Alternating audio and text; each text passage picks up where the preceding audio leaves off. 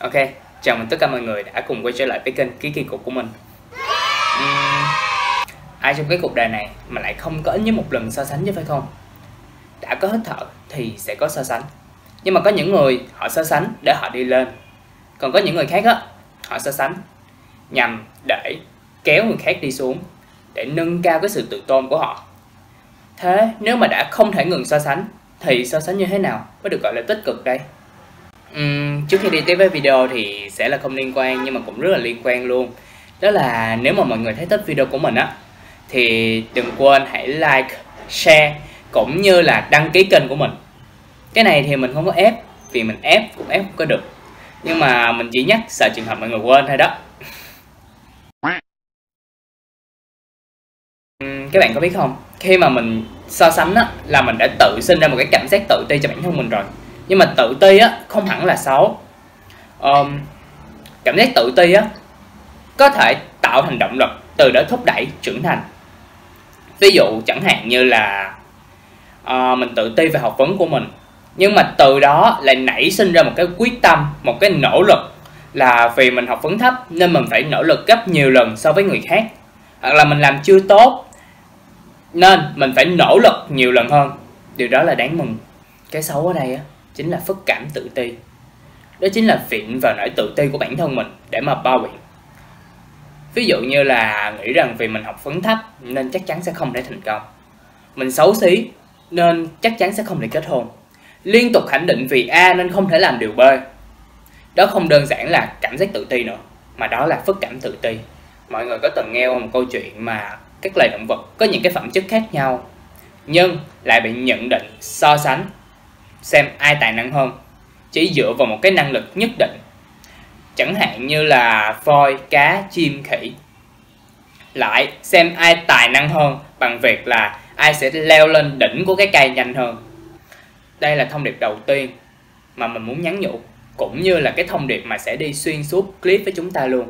Và mình hy vọng là cả mình và bạn cũng sẽ đem cái thông điệp này ra ngoài đời nữa, rằng chúng ta là những con người với nhau thì chúng ta sẽ có những cái điểm chung. Nhưng chúng ta là những cá thể riêng biệt trong xã hội thì chúng ta sẽ có những cái nét riêng biệt, mang phần đặc biệt của bản thân. Lúc đầu á, là mình nghĩ là mình sẽ có phần xấu hổ khi mà thừa nhận chuyện này trên clip. Rằng dù không phải là thường xuyên nhưng mà cũng sẽ có lúc mình so sánh với những người khác, cả những điều vụn vặt nhất nữa. Nhưng mà không, mình có cảm giác á, khi mà mình nói ra á, là lúc đó mình đã có cái nhìn khách quan hơn. Mình um, mình đã nhận thức được rằng tại sao lại phải đặt mọi người ở vị trí hàng dọc để mà so sánh xem ai hơn thua ai làm gì. Thay vào đó hãy trải dài những cái mối quan hệ của bạn theo hàng ngang. Um, mọi người có biết là khi mà dạy con nít á để mà khích lại tinh thần giơ tay phát biểu xây dựng bài của những em ấy á thì những cái giáo viên thường tặng cho những em ấy những cái sticker. Rồi vào một lần mình vô tình phát hiện ra những cái bé ấy tranh giành dán sticker theo hàng dọc của các bạn. Có một em bé nhận được sticker hình quả táo và dán sticker quả táo lên ở vị trí cao nhất. Và một bé khác thì nhận được sticker webcam. Um, bé ấy tháo sticker quả táo xuống và dán sticker webcam lên ở vị trí hàng đầu. Uhm, mọi người biết mình làm gì không? Mình mỉm cười với những em ấy và mình lấy sticker quả táo dán kế bên sticker webcam đương nhiên thì những em nhỏ ấy vẫn chưa thể suy nghĩ sâu xa được nên mình giải thích thêm.